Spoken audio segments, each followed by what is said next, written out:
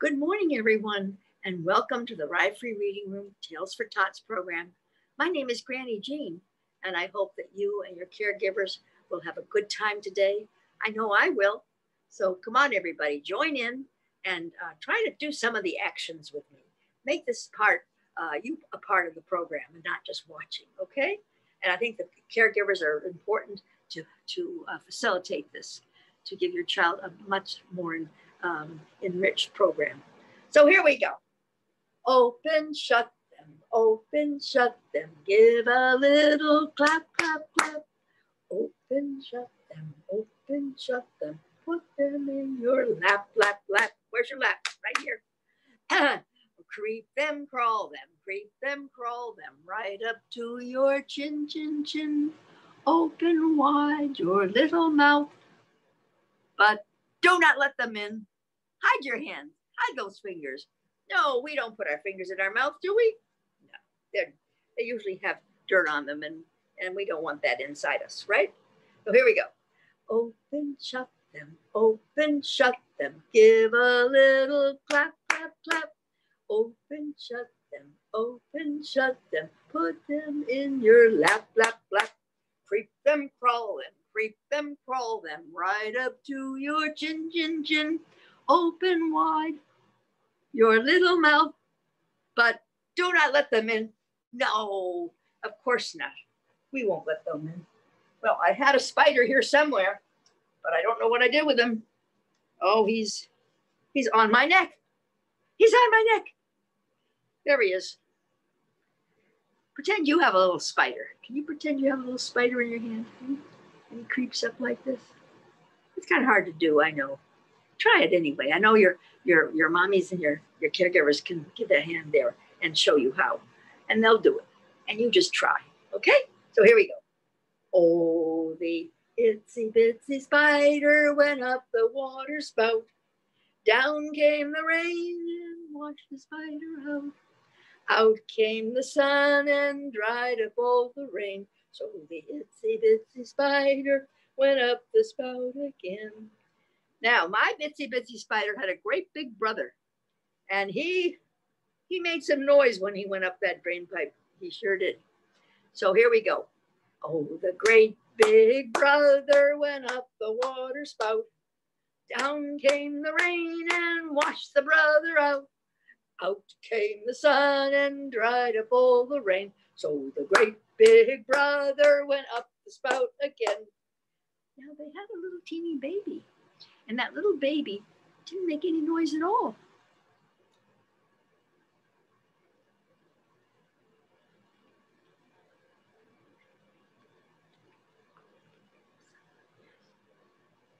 So the itsy bitsy baby went up the spout again.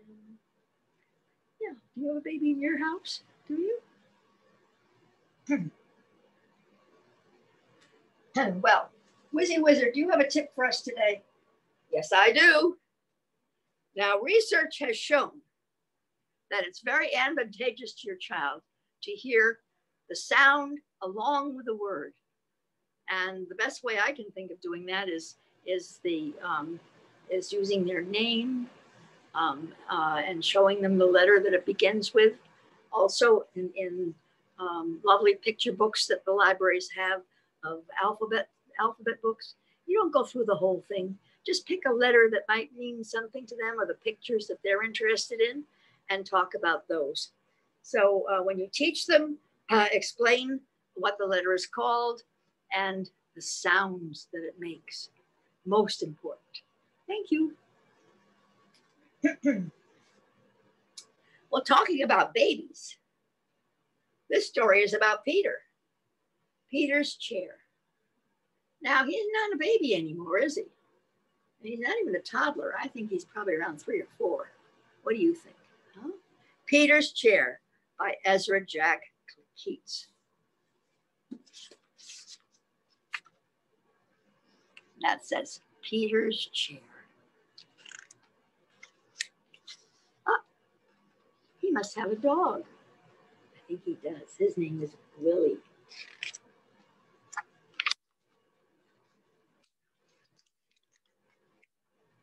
Oh, what is he doing? Look at that. How fun. Peter stretched as high as he could. There, his tall building was finished. Look at that job he did. Wow. All those blocks. And what did he put on the very top? Oh, his toy alligator.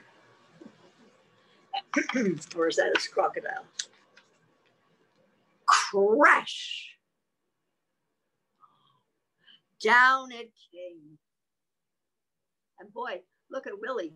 I guess Willie was the one that crashed it, huh? What do you think? Shh, called his mother. You'll have to play more quietly. Remember, we have a new baby in the house.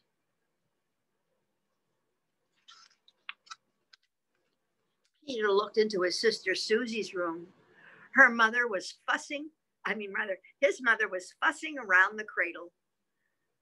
That's my cradle, thought Peter. And they painted it pink.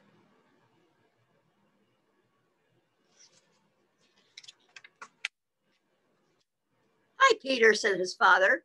Would you like to help paint sister's big high chair? It's my high chair, said Peter.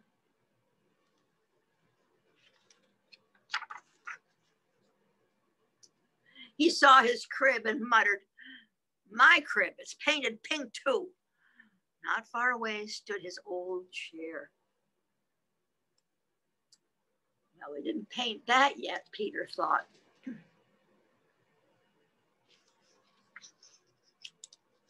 He picked it up and ran to his room.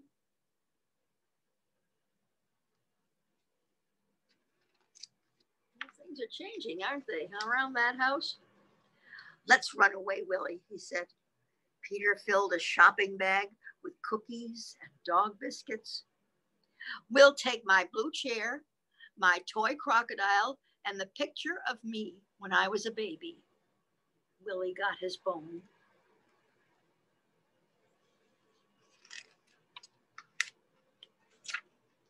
they went outside and stood in front of his house.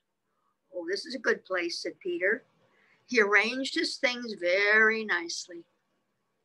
There he is, all his things arranged nicely. and he decided to sit in his chair for a while.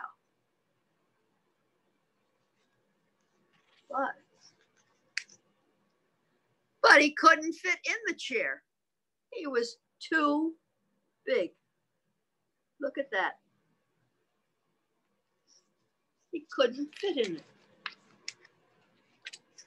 His mother came to the window and called, Won't you come back to us, Peter, dear? We have something very special for lunch. Peter and Willie made believe they didn't hear, but Peter got an idea.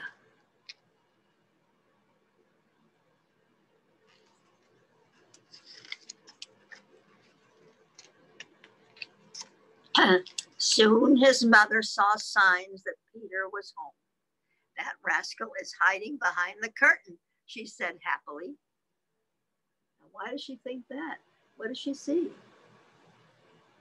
She see his little sneakers there? She moved the curtain, but he wasn't there. Here I am, shouted Peter. Oh, he fooled his. And Peter sat in a grown up chair. His father sat next to him. Daddy, said Peter, let's paint the little chair pink for Susie. Now, why do you think he did that? He couldn't fit into it anymore, right? And they did. They painted it, but what did Willie do? Oh my. He walked through the paint, just like those mouse, the mice that we saw the other day. He made little pink footprints, didn't he? Yes. Peter's Chair by Ezra Jack Keats, a real classic, ladies and gentlemen.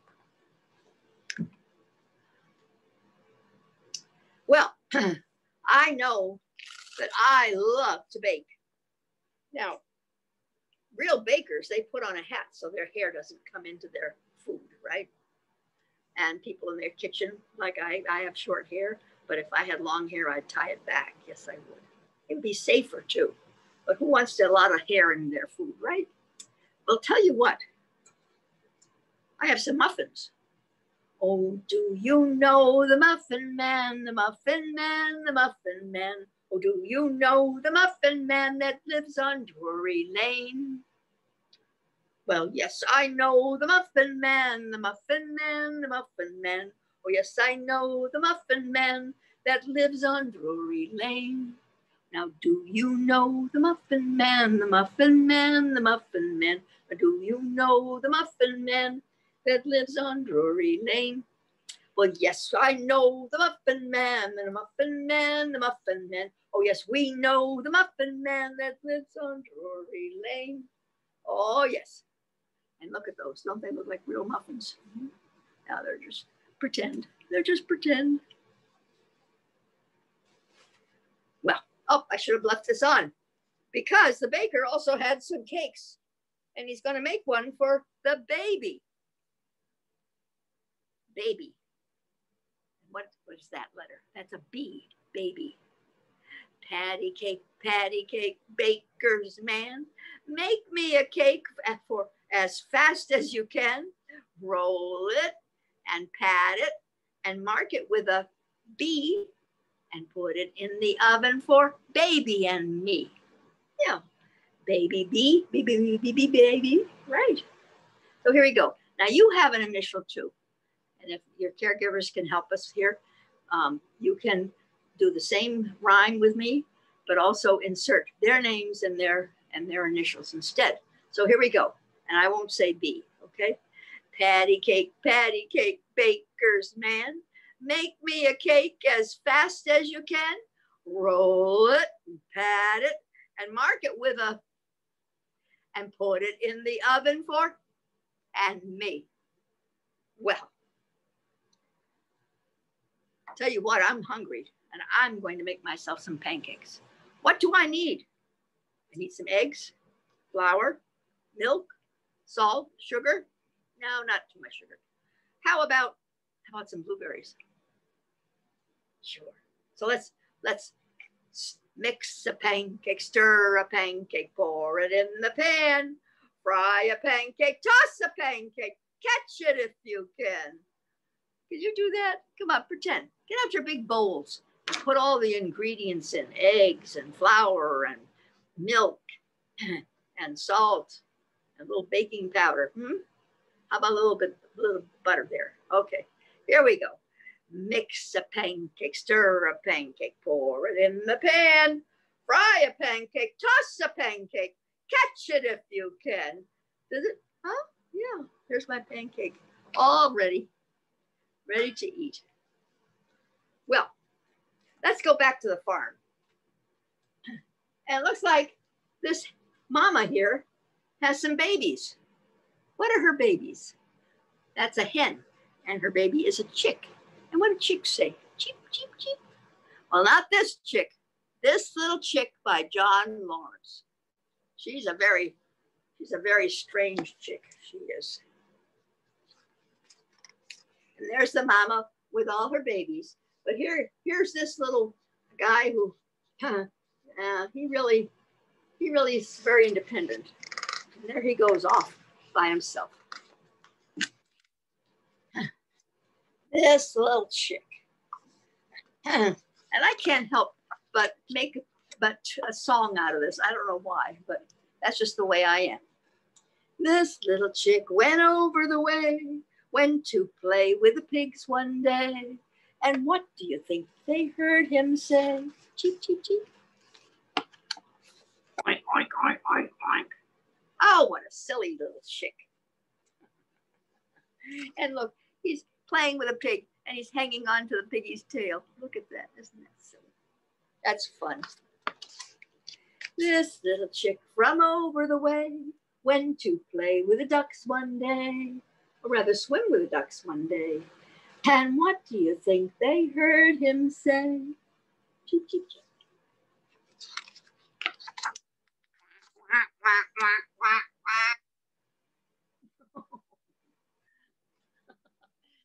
Mother Duck looks a little surprised, doesn't she, huh?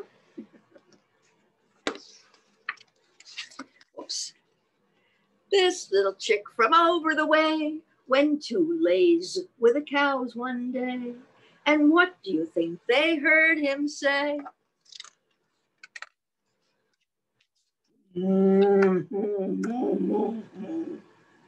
Ah, what a silly little chick. now this little chick went over the way, went to jump with the frogs one day. And what do you think they heard him say?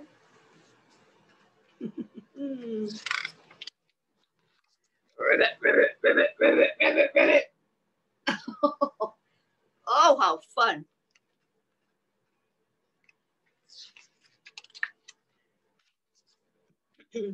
this little chick from over the way went to skip with the lambs one day. And what do you think they heard him say? Come on, what did he say? You're right. Ba, ba, ba, ba, ba. there, are they skipping? Yeah, they're skipping. And this little chick from over the way went home to his mom at the end of the day. And what do you think she heard him say? Now look at all these words. Cheep, cheep, cheep, cheep, cheep, cheep, cheep, cheep. Oink, oink, oink, oink, oink, oink. Cheep, cheep, cheep, cheep, cheep, cheep, cheep. Quack, quack, quack, quack, quack, quack, quack. Cheep, ribbit, ribbit, ribbit. Cheep, cheep, cheep, cheep, cheep, cheep, cheep. Ba, ba, ba. Cheep, cheep, cheep, cheep, cheep, cheep. Isn't that fun? This Little Chick by John Lawrence.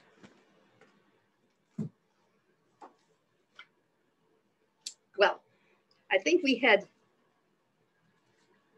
done this one before, but we'll do it again because I want to know if you know where up is and down is.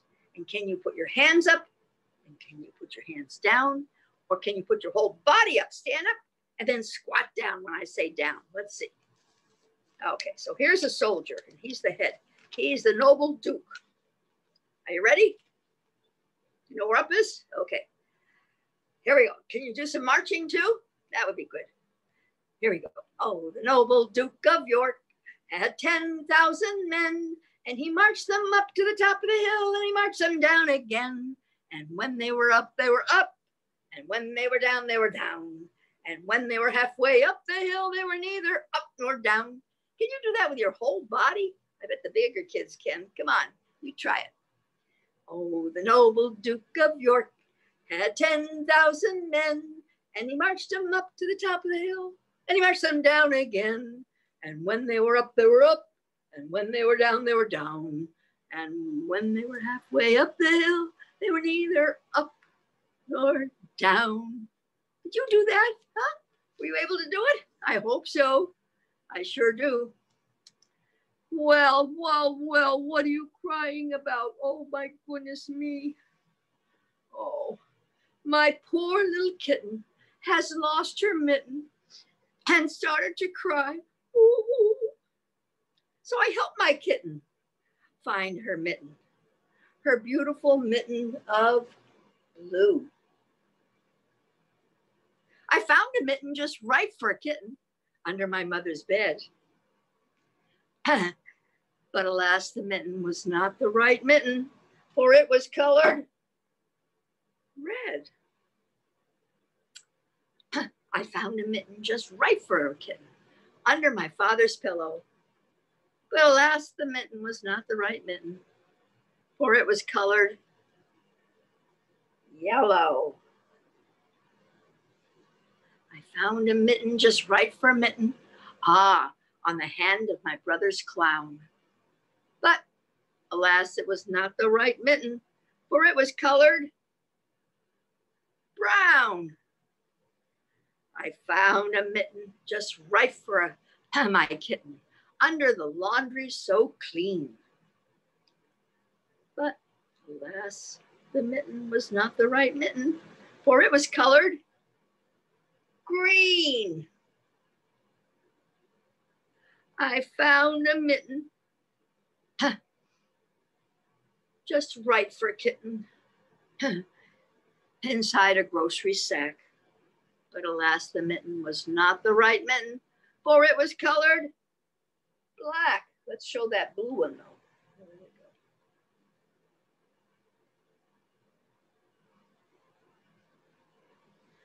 I found a mitten just right for a kitten under the kitchen sink.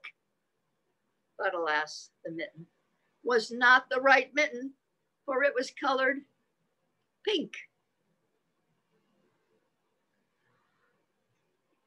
I found a mitten just right for a kitten inside my favorite shoe. And this time the mitten was just the right mitten, for it was colored blue. And there are his mittens, a pair of mittens, a pair of mittens. They match,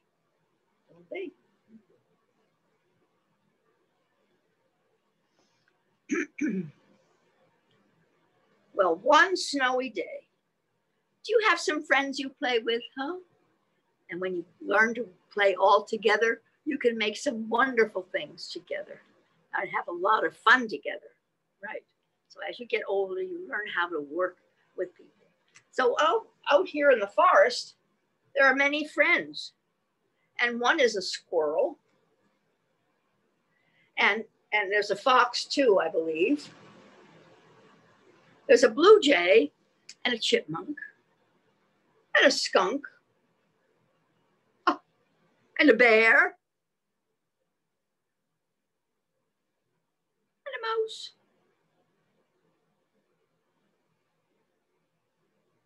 and a rabbit and a chipmunk. Well, they all work together one snowy day. And this is by Jeffrey Scherer. Very simple reader. One snowy day. Oh, and the blue jays. I did have a blue jay I could have brought down too. Bear picked up the branches deer carried, deer brought the broom. Is that a deer?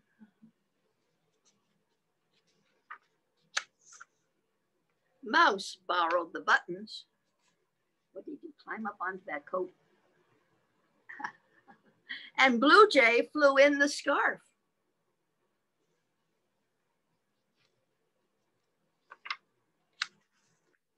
Kitten found the mittens. Squirrel carried the acorns.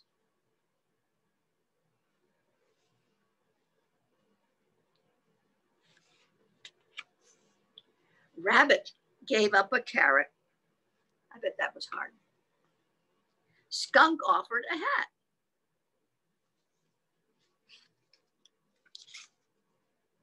Chipmunk juggled the cups.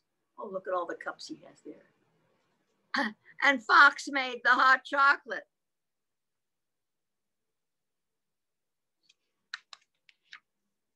The animals rolled. Oh, look at Mouse. He got stuck. but I think Bear will come to his rescue. Let's see. Yeah, he pulled him out. And rolled and rolled the snow. Look at that. Great big balls of snow.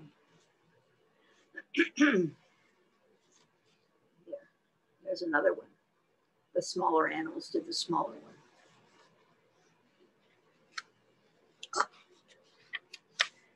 one. then they piled and piled the snow. Can you guess what they're making? Bear attached the branches, poking inside the middle. Deer held the broom. Mouse pushed in the buttons.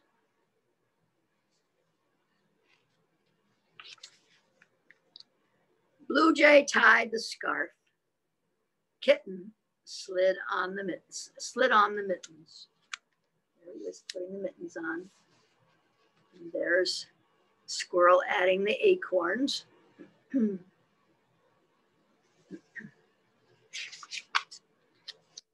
Rabbit put on the carrot. Skunk placed the hat.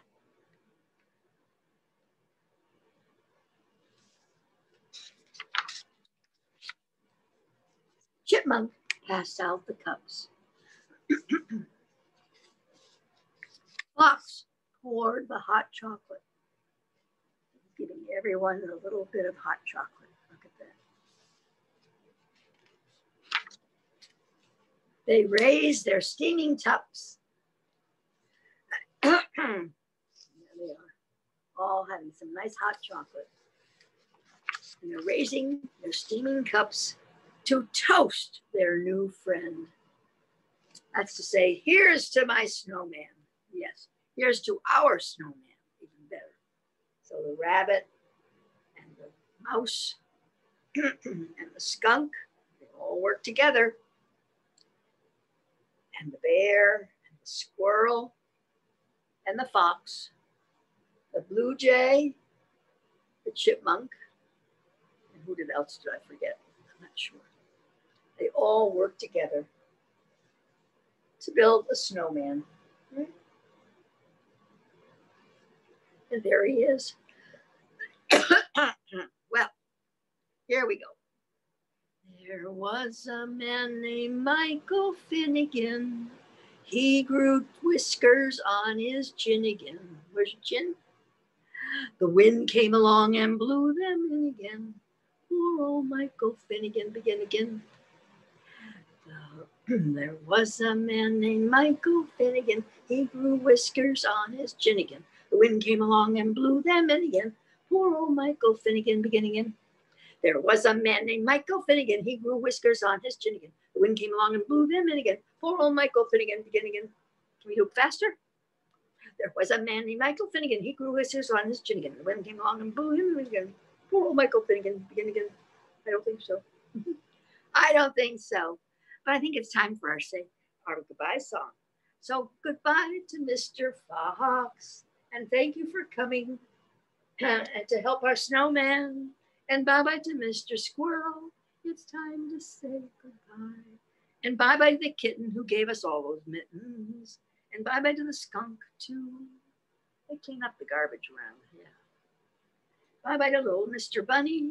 It's time to say goodbye. Bye bye to all my friends and caregivers. And bye bye to Granny Jean. Bye bye, everyone. Thank you for coming.